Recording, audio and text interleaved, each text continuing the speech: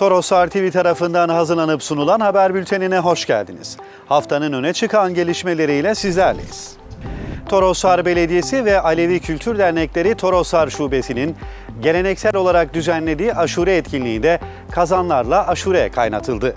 Başkan Yılmaz aşurenin paylaşmanın, dayanışmanın, kardeşliğin, hoşgörünün ve bereketin simgesi olduğunu belirterek birlik ve beraberliğin daim olmasını diledi.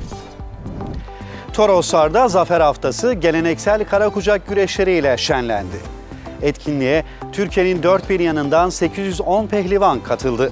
Sporcular, minikler, yıldızlar ve büyükler kategorilerinde yarışarak er meydanında boy gösterdi.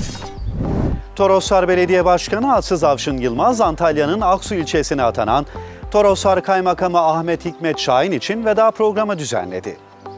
Kaymakam Şahin, Toroslardan ayrılacak olmanın üzüntüsünü yaşadığını ancak güzel dostluklar edindiği için de mutluluk duyduğunu belirtti. Kendisinin onuruna düzenlenen bu veda programı için Başkan Yılmaz'a teşekkür etti. Başkan Yılmaz, TRT Çukurova Radyosu'nda yayınlanan Akdeniz'den Toroslar adlı programın konuğu oldu.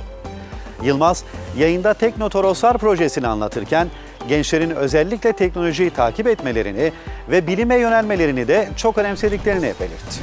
Toroslar Belediyesi Eylül ayı meclis toplantısı yapıldı.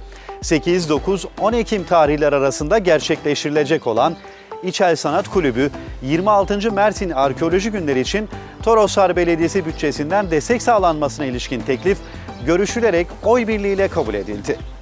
Başkan Yılmaz, kentimizin faydasına olan ulusal ve uluslararası alanda tanıtılmasına katkı sağlayan her türlü çalışmanın yanında istedi.